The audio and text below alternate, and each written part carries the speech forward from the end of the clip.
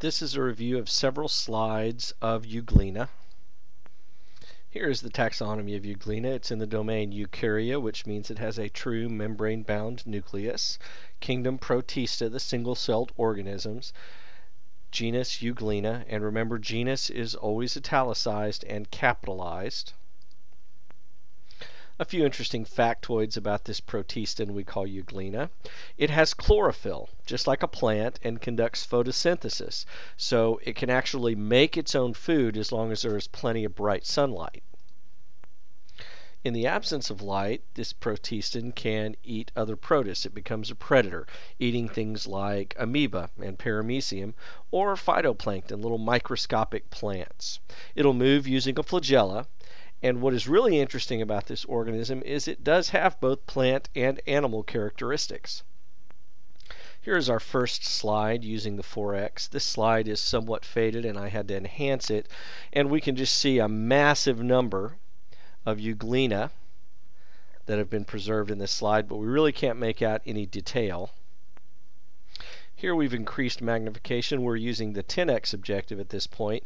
And again, we can see some nuclei. But that's about all the detail we can see. But all of these are euglena.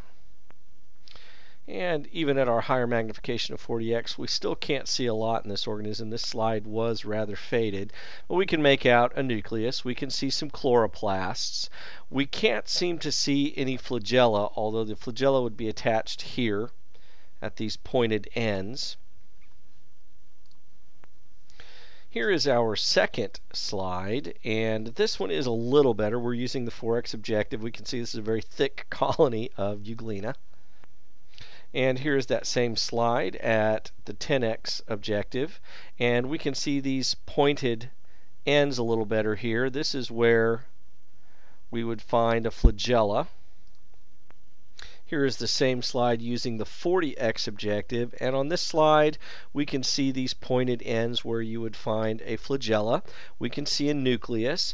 We can see a few faint chloroplasts. This one has some better chloroplasts uh, that are fairly apparent.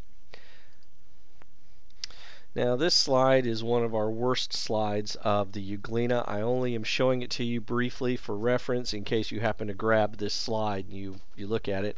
Here we are at the 4X and as you can see this is a very faded slide and the Euglena are very tightly packed. And here's that same slide using the 10x objective and about the only thing we can see here are a few of the nuclei. Here is the same slide using the 40x objective. I was able to enhance it a little bit. We can see a nuclei. We can see what may be some chloroplasts. And that's really about all there is. Now again, this is a fairly poor quality slide, but I just wanted to include it so that you would have one example of all three slides we use here at the school.